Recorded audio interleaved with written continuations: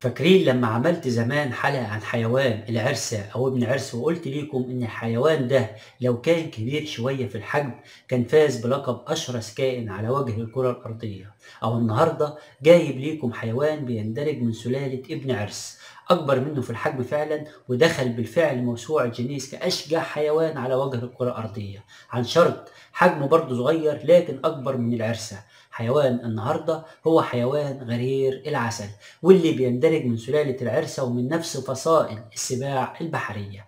أو حيوان غرير العسل زي ما تقولوا كده عليه بلطجي الحيوانات. يعني لما تشوف مثلا فيلم البطل شغلته طول الفيلم إنه يجيب حق الغلابة من البلطجية ويروح يفتري على البلطجي أو حيوان غرير العسل ده بالظبط كده. حيوان مش بيفتري غير عن المفتري وممكن تقوم في دماغه مثلا يروح منطقة الأسود ويجر شكلهم أو يستخبى لفهد وتلاقيه مرة واحدة خبطه في وشه وطلع يجري. شجاعة الوحش ده جعلت منه أسطورة بيحكوا عنها في عالم الحيوان.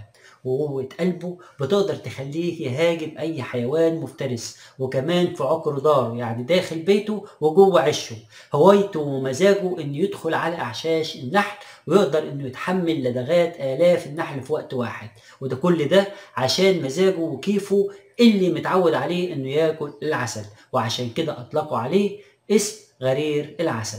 طيب إيه اللي مقوي قلب الحيوان ده بالصورة دي؟ وإيه مخلي باقي الحيوانات بتخاف منه بالشكل ده؟ اولا حيوان غرير العسل هو عارف إنه بيمتلك مميزات مش موجودة في أي حيوان تاني. يعني مثلا الجلد بتاعه أو الفرو بتاعه سميك جدا ومن الصعب أو شبه مستحيل إن السهام تخترق الجلد بصورة كاملة. كمان الحيوانات المفترسة لو قعدت تعض في جسمه مش هتأثر عليه لأن أنيابها صعب تخترق الطبقة السميكة من الجلد.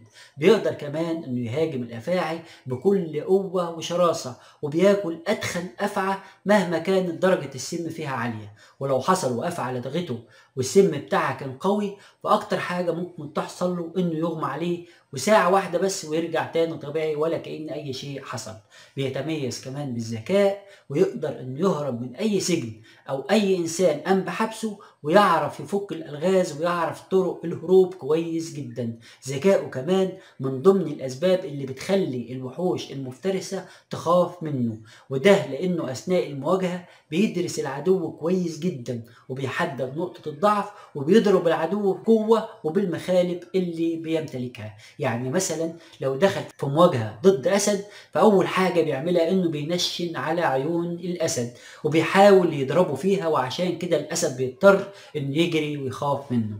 ناس كتير بتسأل وتقول طيب غرير العسل لما يكون بالقوة دي. طيب إزاي بيموت؟ الباحثين اكتشفوا إن الحيوان ده مش بيعيش كتير لأنه في الغالب بيكون حامل لفيروس داء الكلاب.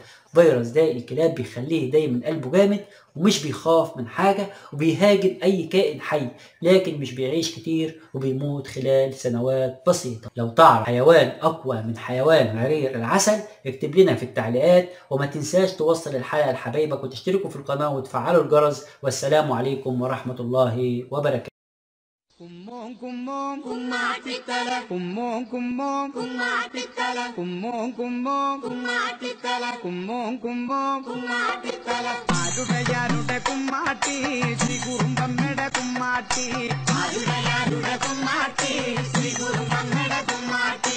ஆடுகையாருடைய